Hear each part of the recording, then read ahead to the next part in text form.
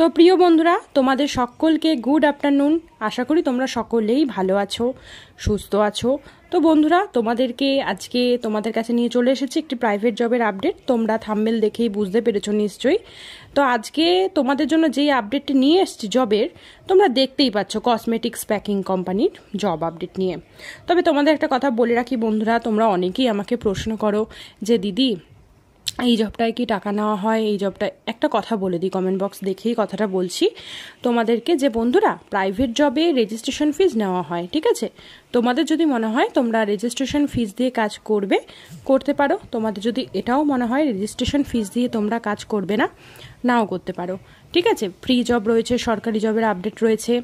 এমনকি রেজিস্ট্রেশন ফিজ দিয়ে তোমরা যদি কাজ করো, সেখানে তোমাদের তো কাজ রয়েছে।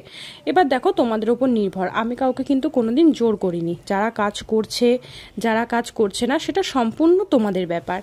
ঠিক আছে। অনেকে রয়েছে, কাজ করছে, আমার চ্যানেলের থেকে তারা কাজ পেয়েছে, আমি নিজেও খবর পেয়েছি। অনেকে জানায় অনেকে জানায় না, ওটা কোনো ব্যাপার না। তোমরা কাজ পাও, তোমাদের জন্য আমি আছি। তো বন্ধুরা, আজকে আমি প্রথমেই বললাম কসমেটিক্স প্যাকিংয়ের জব আপডেট নিয়ে চলে এসেছি। বিভিন্ন কসমেটিক্স প্যাকিংয়ের জন্য কসমেটিক্সের জন্য ফ্যাক্টরি রয়েছে বিভিন্ন জেলাতে, ঠিক আছে? তো সেখানেই তোমাদের কর্মী নিয়োগ হচ্ছে।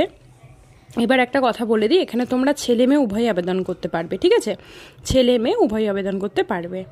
এবার আরেকটা মানে ক্রাইটেরিয়া আর কি, কাজের ক্রাইটেরিয়া কী কী রয়েছে সেটা বলে দিই। বেসিক্যালি তোমাদের এখানে করতে হবে বন্ধুরা কসমেটিক্স প্যাকিং প্যাকিংয়ের কাজ করতে হবে।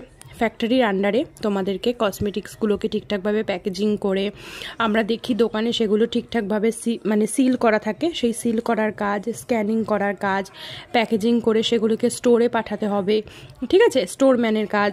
এরপর সেগুলো দোকানে দোকানে ডেলিভারি করা, অর্থাৎ ডেলিভারি সার্ভিসের কাজ, এগুলো কিন্তু তোমরা পেয়ে যাবে। ঠিক আছে? এছাড়াও তোমরা পেয়ে যাবে ফ্যাক্টরিতে সিকিউরিটি গার্ডের কাজটাও কসমেটিক্সেরই ঠিক আছে? তো বন্ধুরা, একটা দুটো পদ নয়, আমি অনেকগুলো পদের কথা বললাম তিন থেকে চারটে পদের কথা বললাম নিশ্চয়ই। তোমাদের যার যেই পদের জন্য আবেদন করার ইচ্ছুক হবে, তোমরা কিন্তু সেই পদের জন্যই আবেদন করবে, ঠিক আছে? এবার বলে দিই, কাজটাও কিন্তু কোয়ালিফিকেশন অনুযায়ী হবে। ন্যূনতম কোয়ালিফিকেশন অষ্টম শ্রেণি পাস চাওয়া হয়েছে, তারপরে টেন টুয়েলভ পাস এগুলো তো রয়েইছে, ঠিক আছে? কাজটাও কোয়ালিফিকেশন অনুযায়ী হবে। এবার বলে দিই এজ লিমিট কত রয়েছে? দেখো বন্ধুরা এজ লিমিট ন্যূনতম কুড়ি বছর লাগবেই। ছেলেদের ওই ধরো পঁয়তাল্লিশ বছর পর্যন্ত রয়েছে, আর মেয়েদের পঁয়তাল্লিশ পঁয়তাল্লিশ মেয়েদের ওই চল্লিশ বছর পর্যন্ত রয়েছে, ঠিক আছে? তবে ন্যূনতম কুড়িটা ধরে নাও, ঠিক আছে? তার কম যারা রয়েছে, আবেদন করবে না। আচ্ছা এবার বলি ডিউটি আওয়ার্স কত রয়েছে? ডিউটি আওয়ার্স আট ঘণ্টা রয়েছে, সাথে তোমরা এক ঘণ্টা ব্রেক টাইম পেয়ে যাবে, ঠিক আছে? ওই আট থেকে ন ঘণ্টা, সাথে এক ঘণ্টা ব্রেক টাইম অনায়াসে পেয়ে যাবে। স্যালারি রয়েছে ন্যূনতম বারো হাজার থেকে শুরু, ন্যূনতম বারো হাজার ওই প্যাকেজিং ডিপার্টমেন্ট থেকে বারো হাজার থেকে শুরু, তারপর রয়েছে ষোলো হাজার টাকা পর্যন্ত। সাথে তোমরা ইএসআই পিএফ এগুলো পেয়ে যাবে, ঠিক আছে?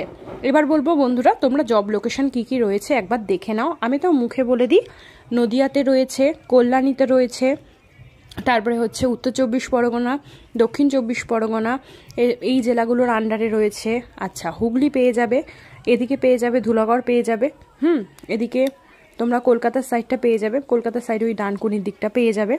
তো এই কটা লোকেশান রয়েছে, বেশ কয়েকটা লোকেশান সব কটা মানে অনেকগুলো নেই আবার জেলা। তো এই কয়েকটা লোকেশান রয়েছে, জেলা রয়েছে, তোমাদের যার যেই জেলা থেকে আবেদন করার ইচ্ছুক মনে হবে, তোমরা কিন্তু সেই সেই জেলা থেকেই আবেদন করবে, ঠিক আছে? এবার একটা কথা বলে দিই, আমি এইচআরের নাম্বার ডিসক্রিপশন বক্সে দিয়ে দিচ্ছি এইচআরের সাথে কথা বলো, ওটাই অফিস নাম্বার কথা বলো, সমস্ত রকমটা জিজ্ঞাসা করবে তারপর আবেদন করবে। যদি তোমার মনে হয় তাহলেই আবেদন করবে, ঠিক আছে? আমি আবারও বলে দিচ্ছি বন্ধুরা রেজিস্ট্রেশন ফিস নেওয়া হচ্ছে মানেই যে মানে অন্য কিছু সেটা নয় রেজিস্ট্রেশন ফিস দিয়ে যদি তোমরা কাজ করতে চাও অবশ্যই করবে। যদি তোমাদের মনে হয় তোমরা করবে না করবে না, ঠিক আছে? তোমাদের ব্যক্তিগত ব্যাপার।